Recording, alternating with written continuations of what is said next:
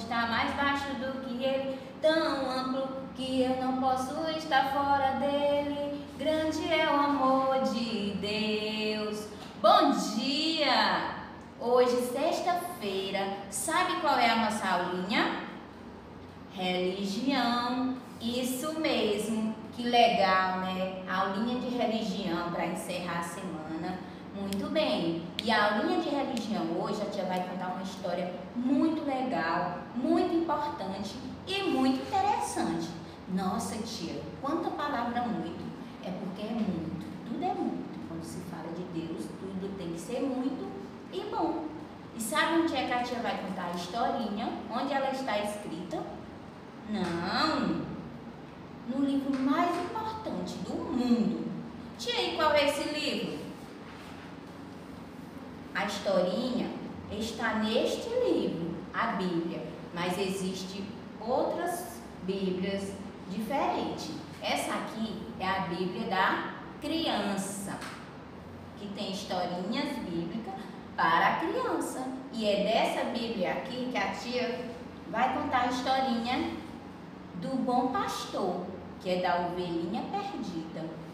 Uma parábola que Jesus contou para aquela multidão que gostavam, adoravam ouvir as histórias de Jesus. Vamos lá, de historinha? Preparados? Sentado? Hum? Posso começar? Vamos lá. Em um lugar nem muito longe daqui havia um pastorzinho de ovelhas, manso, bondoso, inteligente e muito corajoso. Ele pastoreava muitas ovelhas. Embora fossem muitas, ele não descuidava de nenhuma sequer. Cuidava de cada uma delas com muito amor.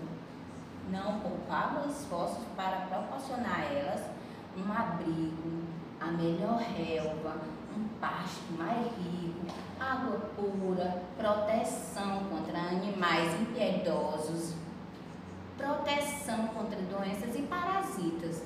Ele sabia que ovelhas são muito sensíveis. Por isso, o lugar para pastoreá-la deveria ser bem seguro. E era com isso que o pastorzinho se preocupava a maior parte do seu tempo.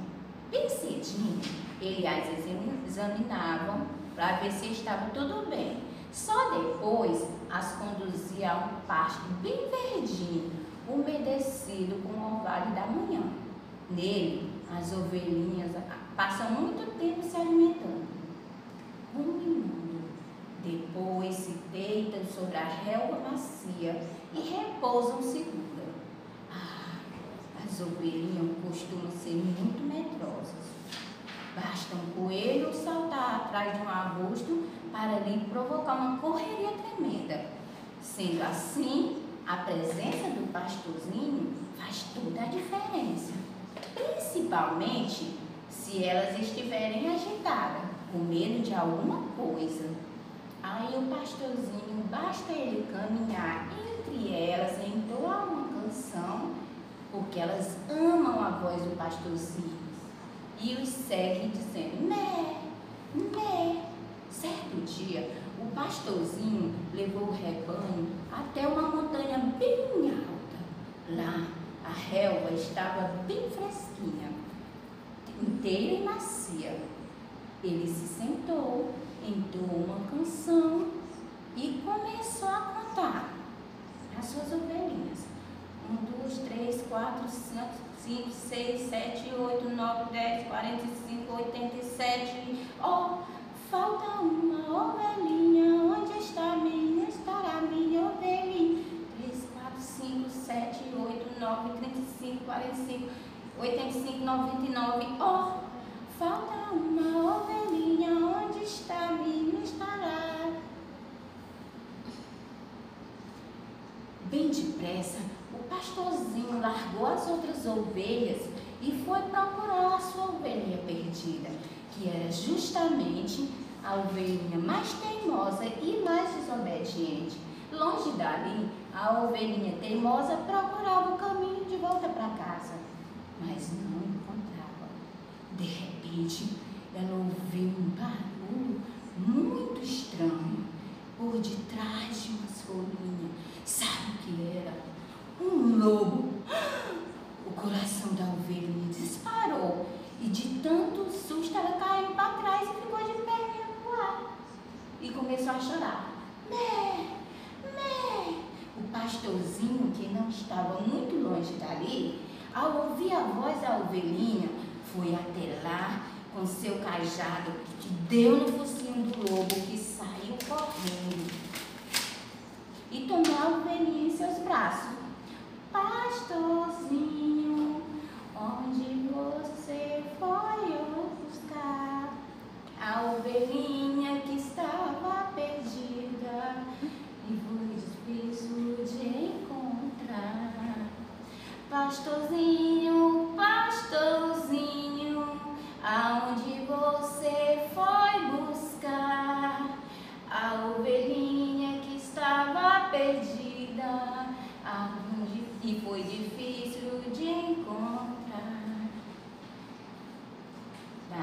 Diante, ela foi a ovelhinha mais obediente do rebanho. E até hoje, só quer ficar no colo do pastorzinho para ficar bem pertinho dele e se sentir segura. Entenderam, crianças?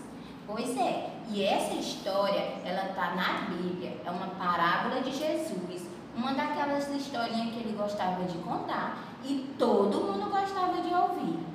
Você pode pedir para a mamãe pegar a Bíblia dela e sentar com você, se você tiver irmãozinho, o seu pai, e pedir para ele contar essa historinha para você, a parábola novamente. Entenderam? Quem aí vai pedir? Hum? Hum, todo mundo, né? Pois a tia quer uma foto da sua família junto com você, ouvir uma foto ou um vídeo. Pode ser pequenininho, ouvindo a parábola de Jesus da ovelhinha perdida. Entenderam? Pois é, na Bíblia, essa parábola de Jesus, a ovelhinha perdida, está no Evangelho de Jesus, no Evangelho de Jesus, segundo Lucas, capítulo 15 e versículo de 3 a 7. Você pode até falar para a mamãe, tá? Agora nós vamos encerrar com aquela música. Quem aí lembra? Hum, todo mundo, né? E a tia quer todo mundo dançando e feliz, porque a ovelhinha perdida foi encontrada. Mas antes da tia colocar a música, eu vou fazer algumas perguntinhas para você. No Salmo 23, versículo 1, diz: O Senhor é meu pastor e nada me faltará. Então, quem é este pastor? O Senhor e é Jesus, que é o nosso pastor. Isso mesmo. Quem falou Jesus, ó, acertou. Jesus é o nosso bom pastor, que sempre está ao nosso lado, cuidando. Até quando a gente faz alguma coisa errada, fala alguma mentirinha, faz alguma coisa que não poderia fazer porque magoou alguém. Jesus, o nosso pastor, está lá do nosso lado para nos proteger. Não, ele não vai deixar a gente para lá. Ele não vai dizer assim, não, ele mentiu, então eu não vou ficar ao lado dele. Não, Jesus não faz isso. Ele fica ao seu lado, lhe orientando para que você faça coisas boas, que foi como ele ensinou quando passou na terra. Outro, ele mesmo diz em João 10, capítulo 14: Eu sou o bom pastor. Jesus mesmo diz: Eu sou o bom pastor. Ele sempre diz. E o bom pastor faz o bem, quer o nosso bem. Entenderam? Então, quem é o nosso bom pastor? Quem é o nosso pastor? Jesus. Muito bem. Agora nós vamos de música para encerrar. Sabe qual é a música? A da ovelhinha perdida. Já tinham esquecido? Vou dar um tempinho para vocês levantarem da mesa, da cadeira da cadeira que vocês estão sentados, do chão, do sofá da casa de vocês, de qualquer lugar para ficar em pé para fazer essa coreografia junto com a tia. A tia vai ficar sentadinha aqui, porque se eu ficar em pé, não vai me ver. E eu quero que vocês me vejam. Mas eu vou fazer com as minhas mãozinhas e com o meu corpinho. Combinado? Vamos!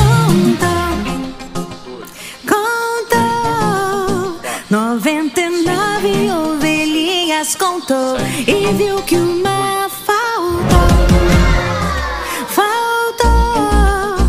E viu que uma ovelhinha faltou. E saiu.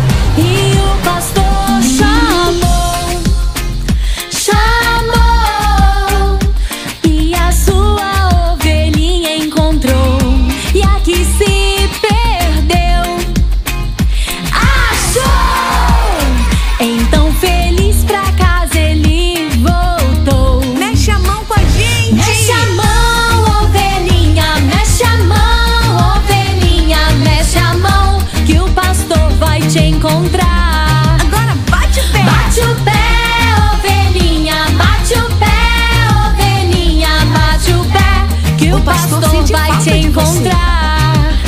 Pode ser sem